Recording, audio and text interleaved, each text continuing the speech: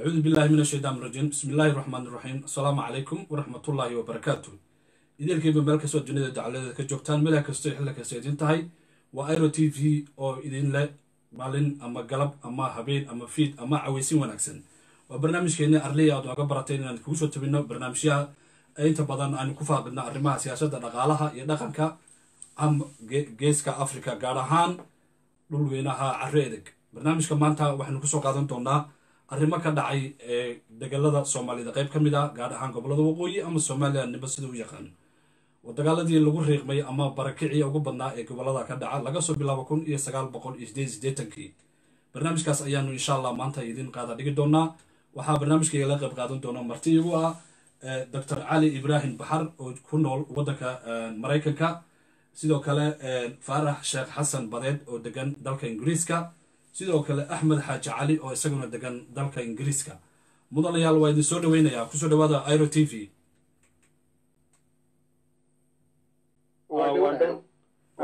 Waa hagaag soo dhaweyn kadib run ahaantii waxaynu doonaynaa inaynu faaqidno arrimahaasi iminka ka soo wareegatay muddo dhowr iyo soddon sano ah laba iyo soddon ama saddex iyo soddon sano ah waxaa dhacay arrimo fara badan oo ilaa iminka maanta aan la hufin ama aanan loo kala yacni gar iyo arrimo iyo nidaam aan weli la sagayman.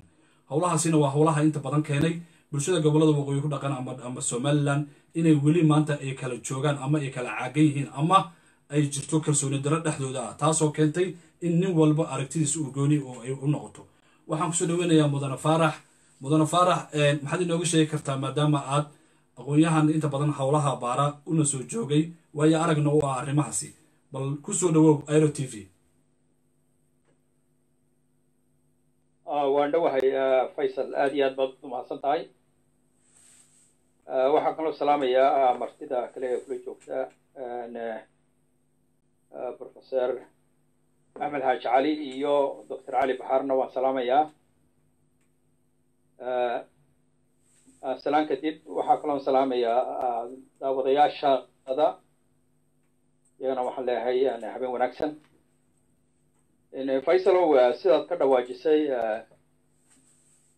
waa arrimaha runtii soomaalida ee soddonkii ama afartankii sana u dambeeyeyba waxaad moodaa waxyaalo badan oo runtii masiibooyin oo runtii markaan waxaan odhan karnaa iyagu ay kasbadeen ama ay isu geysteen ba kulley ayaa ku gadaaman sidaad ka dhawaajisa haddaan gaar u taabanno gobollada waqooyi ama somaliland sida loo yaqaano iyo wixii laga soo bilaabo ay sideed iyo dagaalkii ururadii hubaysnaa ee snm ay maaragtay ku soo galeen iyo waxa weeyaan iyo burburintii magaalooyinka ee waxa weeyaan rikimkii amba xukuumaddii ee soomaaliya siyaad barre u maaragtay ka geystay iyo dhammaan waxyaalihii laga dhaxlay ee ummadihii wada noolaa dhexdoodii ay ka dhaxleen iyo burburkii dee waa wax ballaadhan oo waxa weeyaan meelo badan lagaga sheekeeyey. Haddana kulley aan la dhamaystiri karin weeyaan.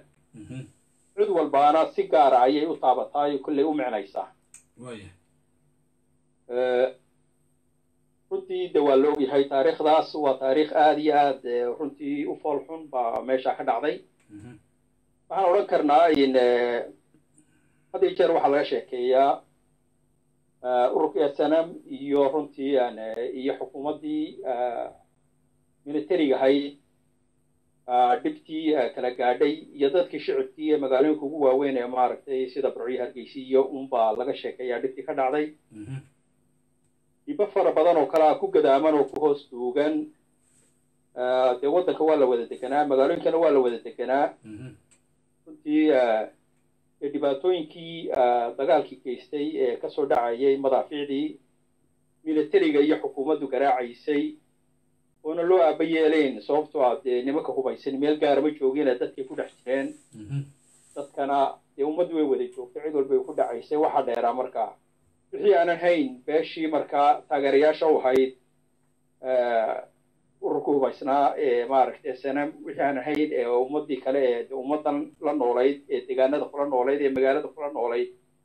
Waxaa iyaga u dheeraa madaaficdan in dee haddana si gaara loo haybsooco oo si gaara iyagana ma maaragtay dil gooniya loo geysto oo runtii xasuuq gaara oo dee iyagoo runtii afxisiimo lagu dilaayo in loo geysta ayaa siyaado ka ahayd. Runtiina cidima xusto lamana hadal qaada inta badan laakiin waa xasuuq xasuuq ku hoos jira baan odhan karnaa runtii maadaama madaafiicdii wixii la garaacaya khasaare badan geysanayeen oo ummad kulley xasuuqa ugu sheegi karno.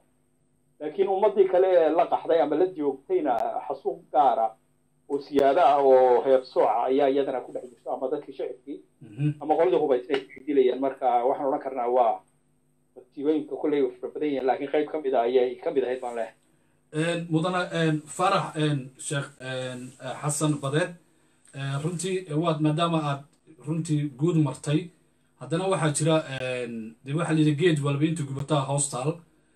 Dadku siyaabo badan ayay u tabanayaan ama u cabanayaan oo dhib ugu soo gaaray. Adiga shaksiyan ahaan marka laga hadlayo adiga qudhaada iyo dadkii kugu xeernaa iyo ehelkaagii ma dad gooni ah oo si gooniya dhib u soo gaaray ayaa jira waad mahadsan tahay faysalow waxa weeyaan waxaan filayaa mushkiladaha iyo dhibaatooyinka ka dhacay dhulkaasi dadka ugu badan ee gobollada waqooyi ku noolaa qofba inay ka soo gaadhayba cid ka badbaado horta ma jirto. Anigu shaksiyan kolka laga tago dee degaamadii iyo beerihii iyo magaalooyinka aan deganayn oo dhulka u horreeyey ee runtii beel ahaan ururka hubaysnaa oo gacanta iyo maaragta uu mariyey oo beerihii la gubay oo guryihii la dumiyey marka laga tago dad badan oo shicib ahaa oo ganacsato ahaa oo hargeysa ku noolaa walaalkay ka mid ahaa oo khaasatan niman si gaara loo calaamadeeyo oo meelo badan lagaga hadlo ay ka mid ahaayeen runtii ninkii aqoon-yahankii xasan cali xaaji cali bidaar oo xasan aboolo loo yaqaano. Walaalkay baa ku jira oo kaamil sheekh xasan badeed. Iyo carab barkhad abaar oo isna ganacsadaha. Nin kaloo professeer ahaa oo maxamed cilmi oo cilmina cilmi jir loo yaqaano. Oo gebigoogu raggaasi ayna cidna ayna dowladda u shaqayna wada shicib ahaa oo runtii dee hanti ku lahaa magaalada. Oo sida dadka kaleba u qaxeen intay la qaxeen dee nin walbana ka hagaagi lahaa hantidiisii iyo gurigiisii oo dee maalin walba sida dadka kale ay intay. Marka la soo qaxee meelaha geedii baa loo soo qaxay la noqdo haddana waxyar laga soo qaato. Gurigiisii nin walba iyo wixii yara hantidiisi meel ku aasay kolba soo wareegaya oo dee adduunyadu dhanka u dhici ma aqoon. Waa ka mid ah dad waxa weeyaan hayb ahaan loogu dilay sida wararku ay sheegaan waxa weeyaan halkaa magaalada oo maaragtay halkii daloore la odhan jiray areada iyagoo maaragtay reer ahaan maaragtay loo dilo weliba nimanka sida wararku sheegaan madaxda markaa ka ah waxa weeyaan ururkiiyo sanama ay qayb ka ahaayeen oo amarada bixiyeen baa la sheegaa. Marka way fara badan yihiin iyo dad fara badan oo kale magaalada dhexdeeda. Runtii shicibha lagu dilayba marka laakiin xusuus gaar ay si waana way way jiraan oo aniga kulley dadka gaar ay u taabataa ka mid ah. Haddaan kaa dhex galo isla qodobkaa hore ayaan weli ku jirnaa. Mudane xasan waxaad sheegtay aqoon-yahano kow ka yahay xasan xaaji cali bidaar oo ku macdheera xasan aboole kaamil sheekh xasan badeed. Waxaad sheegtay carab barqad abaar. Waxaad sheegtay maxamed cilmi ina cilmi jiir loo yaqaan. Raggaasi waa marka laga hadlayo hargeysa iyo nawaaxigeeda iyo dhammaan gobollada waqooyi. Aqoon-yahano aada loo yaqaano oo dadku ka hibaystaan oo la garanayo oo deegaankaa jooga oo aana saad sheegtayna dowladda u shaqaynan ayay ahaayeen marka haybta laga yimaado maxaa kale oo loo beegsanayaa ayaad is leedahay maadaama aysan ahayn dad dowladda u shaqaynayay ama dad ka soo horjeedayba nidaamkii markaa dee jamhadda ciiddii hogaaminaysay maxaa loo beegsanayaa haldoorkaasi? Ayaad is leedahay. Wallaahi dee su'aashaas waxaan filayaa ciddii arrintaa geysatay inay iyagu wixii maalka ay ku fikirayeen iyaguna ay ka jawaabi karaan laakiin sida la wada ogyahay waxa weeyaan maxaan ku yidhaa ururkii snm lamu dagaalamaynuun waxa weeyaan xukuumadda iyo militariga waxa weeyaan wixii aanan meesha ay taageerayaasha ay ka tirsanaayeen ahaynba markay soo galeen. Waxa weeyaan waxay ula dagaalamayeen sida askarta ula dagaalamayeen marka umay kala eegayeen qofkana shiciba iyo qofkana qori sida wixaan iyaga haynba weydilayeen. Waayo taa waxaa u caddaynaya dee nimanka shicibka ah ee waxa weeyaan ganacsatada u badnaa aqoon-yahaniinta ee waxa weeyaan aanan cidna dembi ka gelinba waxa loo dilay waxa weeyaan waa hayb baa loo dilay reer ahaan. Marka waxaan filayaa waa in qayb bay ka ahayd baan filayaa siyaasadda ama maaragtay ujeedooyinka ay marka ay ku socdeen bay qayb ka ahayd baan filayaa. Waayo deegaamada aan beesha maaragtay ay isxigaan beelahan taageeraya maaragtay ururka markii state statingii la soo galay iyadoonan waxa weeyaan wax alla wax dowladii joogin oo areada iyo tuulooyinka ayna ku nooleen wax askara iyo wax stationaa iyo wax xukuumad iyo raadkeed joogin oo beele iyo dad caadi oo beeraleya iyo tuulooyin iyo maaragtay business dad caadiya unay ku nool yihiin. Ayaa la gubo oo maaragtay ay lugta la mariyey markaa taasi waxay ku muujinaysaa inay jirtay ujeedooyin maaragtay kale oo maaragtay aanan hayn uun inaa lala dagaalamayey xukuumad iyo maamul. Way ahayd waxaan iyaga hayna kalaba inaa maaragtay kolley in la dhibaateeyo saasaan filaya waa hagaag. Aad baad umahadsan tahay mudane faarax waxaan iminkan u yeerayaa doctor axmed xaaji cali badeed oo ku nool isagana dalka u k. Kana mid ah marxuumiinta iminka laga hadlay mid ka mida walaalidii uu yahay oo ahaa kamil sheekh xasan badeed. Doctor axmed ku soo dhawow waan dhowahay asalaamu calaykum. Marka hore aad aad umahadsan tahay barnaamijkan sida fiican u daadihinayso barnaamijkan wax badan buu qeexayaa wax badan oo qarsoona ayuu soo saaray. Marka waa loo baahnaa kolleyba mediaha in looga ogaado wixii dhacay. Dad badan oon ogeyn baa jira. Dad badan oo waxaa jira waxyaabihii dhacay ee annaga dhibaatada nagu hayo waxaa laga yaabaa inay cid uuni bal hadday maqasho wax ka soo sheegi lahayd. Annaga horta anigu waxaan ninka la yidhaahdo xasan xaaji cabdi bidaar ayaa ayaa ahaa walaalkay. Ninka waxaa la dilay sideed iyo siddeetankii anigu markaa dibaddan ku maqanaa waaya xasan wuxuu ahaa nin xasan xaaji cali bidaar loo yaqaano xasan aqoon wuxuu ahaa nin dadkoo dhan aad u yaqaaneen nin magaalada hargeysana weligiiba degenaabu ahaa. Nin wuxuu ka bilaabay dugsiga mxuu farsamada gacanta hargeysa ka bilaabay. Kun iyo sagaal boqol iyo sideed iyo lixdankii. Halkaas wuxuu ka baxay dugsigaasu ka baxay macallin buu ka noqday. Markii dambena waxaa loo diray waaya oo waxaa loo diray inuu dib ugu soo noqdo meeshuu macallin ka noqdo. Buu noqday. Jarmalku joogay. Wuxuu ahaa ninka keliya soo noqday oo u soo noqday inuu ardadiisii iyo dhubkiisii wax u qabto.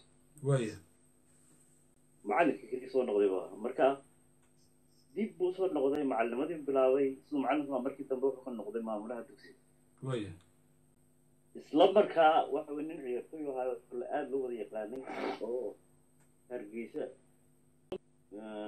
iyo burco. Somaliland marka laga hadlo guulo badan u soo hooyay waaya isla markaa uu maamulaha kulleyba sportska uu ku jiray oo maray jabuutiga maan garanaya oo isagu kabtan ka ahaa nin ku jiray dhibaatayn nin wax dhibaatay ilaama dadka oo dhan waxay ahaayeen dadka o dhan way jeclaayeen. Haddaad iminka weydiiso dad badan oo reer hargeysa waxaad maqlaysaa inay la yaabaanba ninkan in dad wax yeelaan. Waayo. Dad baa jir moogtahay aada odhan karto waa bermageyda dadka aan waxba loo waxba loo geysan karin mo waa gartay. Marka annaga gaar ahaan waxa weeye waxaan soo noqnoqda dhibaatay nagu hayaan.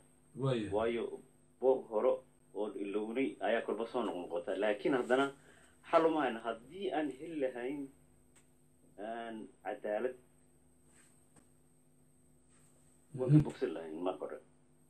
Laakiin ma hayno cid. Hadda qaxaysa ama sheegaysa ama wax caddayna oon leenahay. Dadkaasaa ka dambeeyey laakiin waa la ogyahay inay ka dambeysay. Ka dambeeyey ururka aysanam inay ka dambeeyeen. Siduu faarax sheegay. Afartaa nin ma isla socotay waxaa lagu qabtay. Meesha loo wada qaxay oo magaalada laga wada mar markuu bomku dhacayay ee dowladdii galiterskees muxuu ahaa dowladdii muxuu ahaa siyaad barre ay dadka leynaysay waxa weeye dadka hargeysa degan cid looma kala eegin. Ma ahayn kanaa qabiilkaasa iyo kanaa qabiilkaasa cid walba ku jirto ku dhimanaysa. Wax gaar loo kala soocaya ma jiro marka iyagu dadkaasi ku jireen waxay uga qaxeen meesha waxay ahayd bal inay ku badbaadaan walaalkay waxaa la socday xaaskiisa iyo ilmihiisa carruur buu lahaa la socday halkaasay ku qaxeen meeshii ay ku qaxeen ayay ku badbaadi waayeen oo qabiilo qabiil daraaddeed loo dilay ragge sidaan maqalay marka tan waxay ku tusinaysaa inay ahayd wax planida oo marka horeba la soo balangareeyey in dadkan la taarget gareeyo. Aanan ahayn dadka muxuu ahaa qabiilka qabiilada kale ah in la ee ku nool waqooyiga waya sida aan wararka kale ku hayno inkastoo anigu aan idinku boorin lahaa inaad weliba sii daba gashaan waxyaaba badan oo dhacay oo imika anan boramaa la muxuu ahaa dad lagu laayay iyo dilaa lagu laayay iyo numberkaasa la laayay mooyaane waxaad kale oo ayna jirin ma ogtahay. Information badan karo laga hayaayo inaad sii daba gashaan ayaan idinku boorinaya aad baad umahadsan tahay aad baad umahadsan tahay mudane axmed xaaji cali badeed warbixinta kooban ee aadka u murugada badan ee aad nala wadaagtay. Waan kugu soo noqon doonaa. Waxaan u yeerayaa professor cali ibraahim baxar oo ah aqoon-yahan soomaaliyeed oo degan dalka maraykanka aadna oo la socdo una dhuun daloolo xaaladaha geeska africa kana qora waxyaabo badan. Mudane ku soo dhawow.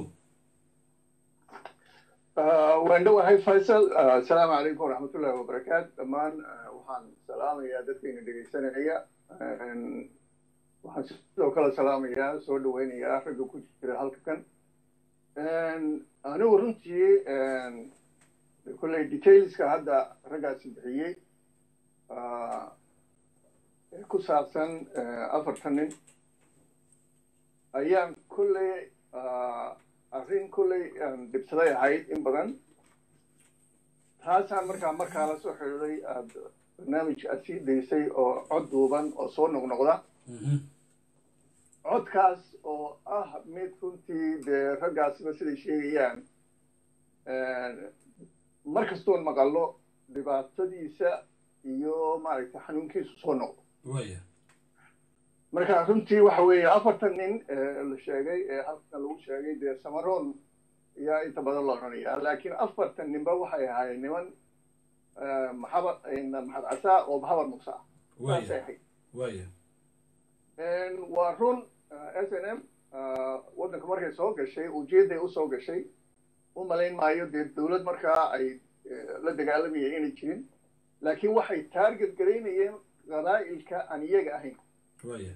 Raggana raggana waxay noqdeen kuwaas oo kale. In ka badan dee kumanyaal baa sidaa loo dilay aan laga haday waa run axmed sidaa uu sheegayo. Waa runtii wax dee laguba faanaba in ay gadabursigu markaad taabato. Waxyaabaha ku dhacay marka laga hadlayo. Dadka bannaanka ka joogay noqon dhulka awda la yidhaahdo. Waxaa had jeer la soo qaataa.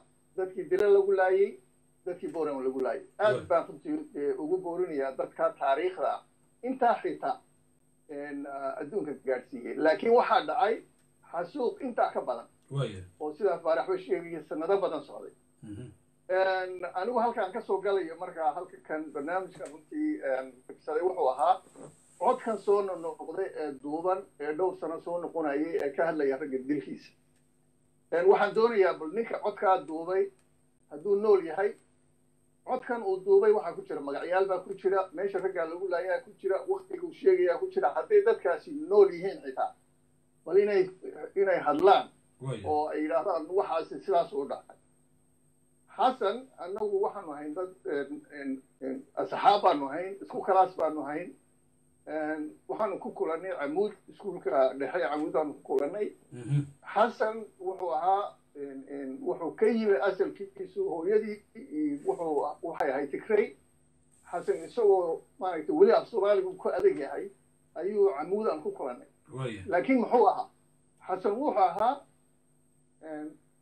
dadka ilaahay siiyey hibada. Ogtahay Mhm. dee dadka kaba weynayn iskuulka dhexe waxa weeye kalaaska afraad ilaa ka toddobaad baa ku jiray haddana isagu kabtan ku ahaa kubadda haba noqdo kabtan kubadda ee dadka ilaahay natural leadershipka. Siiyey buu ahaa.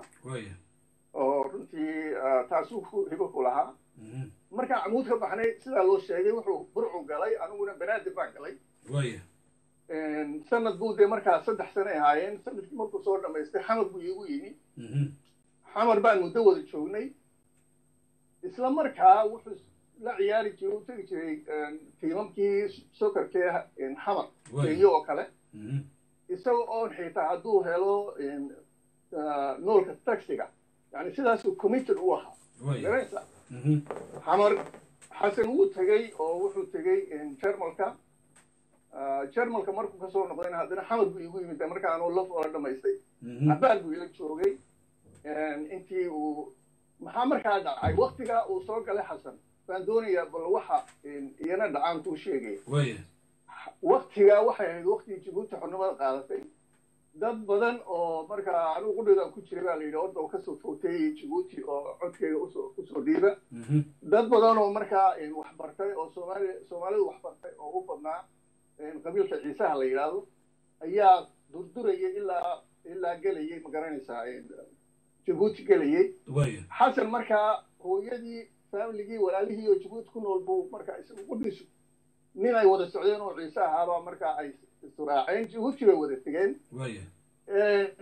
Ninkii markiiba waxbaa la siiyey oo meel baa loo dhiibay xasan markaa wuxuu ka soo noqday isagoo disappointed uu soo noqday. Gartay. Dad badan oo dad badan oo markaa asxaabtiisa ahaa waxaan isku waxaan nidhi xasanow dhoof. Oo baasboorkii iyo wixii oo dhan baa loo soo saaray. Xasan wuxuu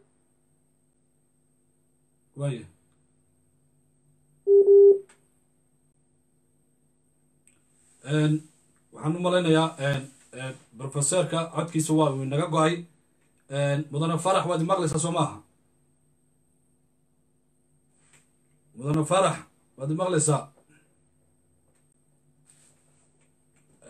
waxaan u malaynayaa daawadayaasha qadarinta leh ee la socday barnaamijka sida toosa iro t v aynu maanta kaga hadlaynay barnaamijkeenii taxanaha waad imaqlaysaa soo maaha professore hallo axmed. Kusoo dhawow waxaan malaynayaa professorka uu ka go'ay. Arrin cajaa'iba uu ka hadlay axmed professorka mudane baxar. Adigu maxaad ku daraysaa arrintaa marka laga yimaado? Waxaad sheegtay in ay arrimuhu ka dhaceen meelo badan sida hargeysa iyo berbere iyo nawaaxigeeda iyo gabiley deegaanada agabar iyo caada iyo dhulkaasoo imika maqan oo aad tiri in dib loo eego ama dib loo raadiyo ayaa iyadana muhiima dhibaatadii ilaa iyo wajaale ilaa iyo deegaanadaas lafteeda way ka dhacday.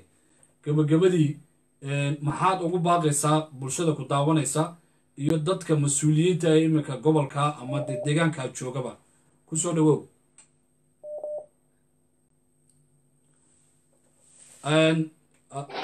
adoo raallia wax yar isug mudane axmed professor waad imaqlaysaa doctor ibrahim cali baxar so so sorry wuu kaa go'ay halkii ka wad marka hawl arrin baad waday halkii ka wad.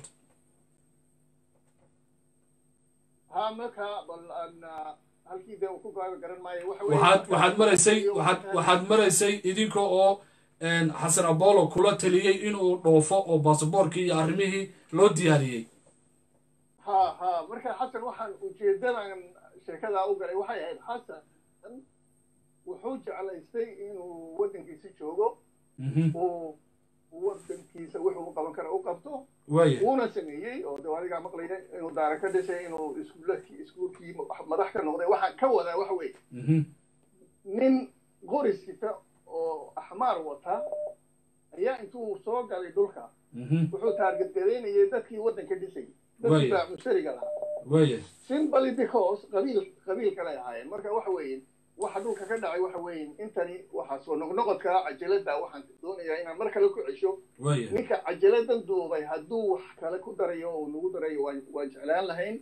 Dadka cajalada dhegaystay hadday wax noo sheegayaan oo intan ay wax ku kordhinayaan ila dad baa noole. Na waan aad baan aad baan u jeclaan lahaa. Waxaan kale oon leeyahay dadka weliba dadka degan dhulka reer awdala.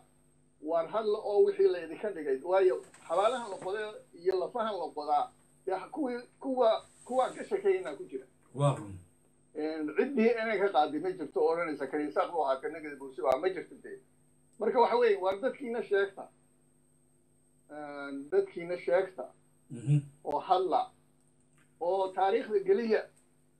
Oo la soo xidhiidha ummadda marka anigu kolley waxaan odhan lahaa weliba dadkan buuraha iyo xeebaha degay ee xoolahoogii la dhacay ee dhulkoogii la gubay ee ilaa maanta weli aan idinka hadal war hadlaan odhan lahaa ummaddiina sheegta. Mudane intaada ka bixin doctor cali ibraahim baxar waxaa jira dad badan oo deganaa deegaanada loo yaqaano caadda iyo agabar. Ah dhul barwaaqa sooran ah oo dhul beereed aada u wanaagsanaa dadkaasi dhulkaa laga barakiciyey beerahoogii la haysto iyagana ka maqan yihiin dadkaa qaarkood waxay maanta qaxooti ku noqdeen ama ku barakaceen ilaa iyo boorama ilaa iyo xaab iyo guban. Maxaad arrintaasi aad aad ka odhan lahayd? Waa arrintaasi waa arrin ruga oo oo dagaal lagu qaaday ilaa maalintii ilaa inbuu ku socdaa. Waxaa details badan kaa siin kara xasan irqa ku baxay. Marka xasanow wixii aad ku darayso halkaa ku waayahay waya xasan baan u yeedhayaa assalaamu calaykum xasan waxaan malaynayaa way idinka go'ay waad ku soo noqoteen. Adiga iyo axmedba xasan waxaynu maraynay gabagabadii barnaamijka. Waana barnaamij yani runtii aan wax badan yani dad badan maanta aad ugu iftiimiseen. Waxaa jira sida uu sheegay doctor cali ibraahim baxar aabbaha qudhiisa inuu ku jiray dadkii deganaa deegaanada agabar iyo caadda oo beerahoogii ilaa iminka maanta ka maqan dadkaasi bal qaabkii wax u dhaceen iyo xaaladii siday wax u jireen bal maxaad nooga sheegi kartaa?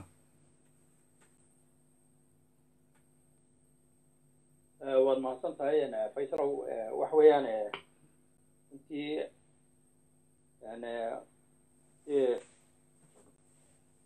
arrintan sideed iyo siddeetankii dhacday inkastoo gobollada galbeedka inta badan koob iyo sagaashankii maalin ka mida un la hadal qaado dee waa arrin afar sanadii sideed siddeetankii lama iyo socotay. Sideed siddeetankii lama iyo koob iyo sagaashankii socotay. Inta ugu badani dee runtii sidaan horeba u carabaabay deegaanadaas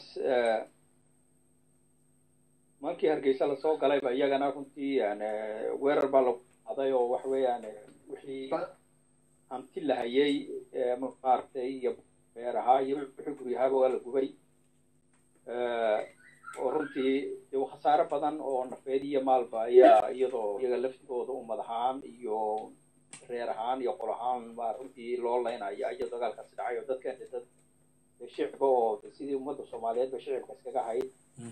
Iyagoo aanan dowladnimo iyo mucaarin iyo midna ka shaqeyn iska nool baxayn laakiin de waxa weeyaan qoladan hubaysanuun ee u soo galeen. Intaa kumay joogsane waxa weeyaan koob iyo sagaashankii markan dadka berki ay yidhaahdaan waa markaan xorriyadda la soo noqonay ama waa markii dhulka la xoreeye la yidhaahdo. Inkastoo in la xoroobo ay ka horreysa in lagu gumaysto de anu garan maayo cidda laga xoroobo wax gumaysan waya maamul xumaaday ama la dhibsaday wurda laakiin dee in la xoreeyey oo la gumaysanaya ma jirto.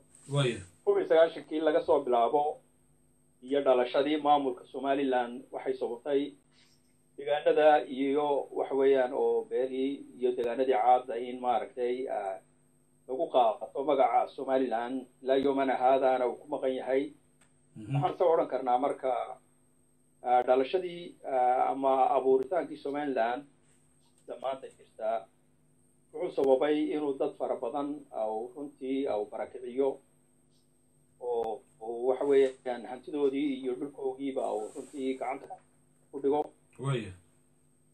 marka dee haddii cadaalad darrada inta badan lagu soo celceliyo oo la leeyahay waxaan ka dhaxalnay dowladdii militarigii waxaan odhan karnaa ummadahaasi aan ka warramaynaa cadaalad darra ka weyn kuma dhicin laga soo bilaabo sideed sideetankii ugu badanna ay bilaabatay koob iyo sagaashkii ilaa yomana haada.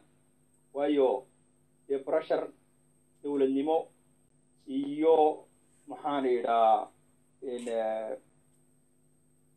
iyo culays. Runtii dhaqaale iyo waxyaalaha kale ayaa maamulkii laga cabanayay militariga uu keenayay laakiin ummadaynta la barakiciyo dhulkooga maamulnimo laguma qaadan. Taas baase maanta jirta.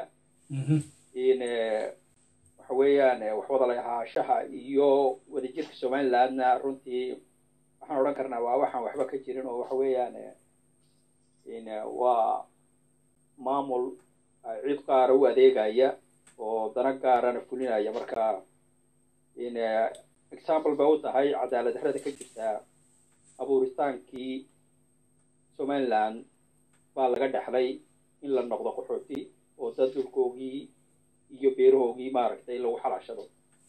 Intaas baan u sheegi lahaa maanta. Waa hagaag. Aad baad umahadsan tahay oo gabagabadii barnaamijkeenaan isku soo siqaynaa. Doctor cali ibraahim baxarmed maqlaysaa profesore waan ku maqlayaa adeero ku soo dhawow gabagabadii maxaad barnaamij ku soo xiraysaa? Waxaa maanta jooga oo somaliland ka arrimiyo dad badan oo hogaamiyaal ka ahaa nidaamkii jamhaddii s n m. Oo idin dhegaysanaya idin dhegaysan doono. Cadaalad iyo sinaan iyo walaalnimo iyo darisnimo iyo ehelnimo ayaana inta badan laga hadlaa. Maxaad dadkaa u tabinaysaan? Adoo soo gunaanadayo. Aad baad umahadsanta adeer waxa weeye horta hadalkaa u dambeeyey xasan faarax uu yidhi waa meesha qura maanta ee wadan wadan dhulkan soomaalida lagu sheego. Meesha qura ee lix goobood oo ka mid ah. Dadkii deganaa la yidhi ma footayn kartaan. Waa waa dhulkan ka hadlayso. Yani waxa weeye cadaalad darradu markay heer gaadho qof bini aadana la yidhi ma jirti. Marka waxaan ku soo anigu ku soo gebagabayn lahaa war ummaddu waxan way ka bixi kartaa. Cadaaladuna barye kuma timaado waxa weeye dadkan dhulkaa degan waxaan odhan lahaa anigu bal dib iskugu noqda. War bal isqiimeeya taariikhiina dib ugu noqda. Gumaysi intan la eeg ood ogolaataan de idima soo marin. Marka ummaddiina badbaadiya dhalinyartiina badbaadiya afar afartan odaya bowra ma joogo cadaaladdan rabnaaliya cadaaladdu barye kuma timaado. Xitaa intii hadhay baa maanta loo soo socdaa la leeyahay dhagaax baan rabnaa dahab baan rabnaa oo la guranayaa. Qof baa haloo yidhi war dhulkiina ilaashada.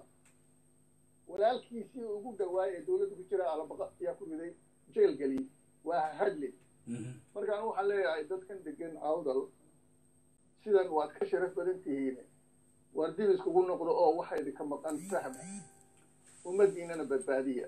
Intaasumaan kulli oran aad baad u mahadsan tahay waxaan u yeeraya imika gabagabadii axmed xaaji cali. Axmed maxaad ku daraysaa adigu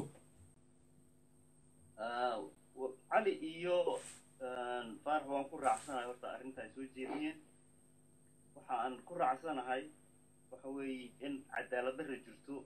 Cadaalad darro aad adigiiba diiday maaha cid kale in lagu dayo moogta qof waa kula mid cadaalad darrada aanad rabin isna ma rabo. Marka haddii siyaad barre looga soo horjeeday cadaalad darro waxa weeye in cadaalad darradii lagu fuliyo maaha dadkan dhulka degan muxuu ahaa kula degan ee ku dhashay ee muxuu ahaa waddan kale. Maaha in lagu fuliyo. Marka waxa weeye haddii la rabo cadaalad waa haddii cadaaladda la sheegaya ay run tahay waxa weeye in nin walba gobolku joogo si cadaalada oo gobolka kale wala mid noqoto waayo waxaan aragnaa hadda cadaalad maaha. Dhinac kastaba saabi qaybsi ha noqoto. Maalin dhaweed cashuuraa lagu soo rogay saylac iyo lughaya cashuuro aanaan laga qaadin berbera